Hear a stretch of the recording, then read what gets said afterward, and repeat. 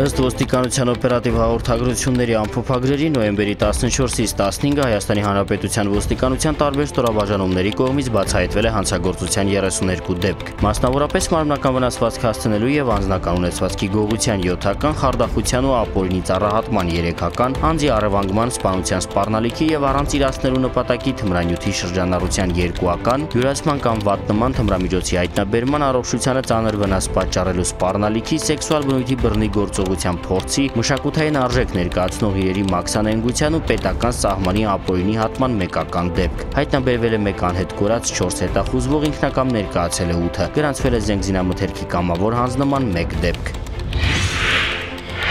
Նախկինում կատարված հանցագործություններից բացահայտվել է անձնական ունեցվածքի գողության 7 դեպք։ Անցած մեկ օրվա ընթացքում հանրապետությունում արձանագրվել է ճանապարհատրանսպորտային 8 պատար, ինչի հետևանքով 13 մարդ ստացել են տարբեր աստիճանի մարմնական վնասվածքներ։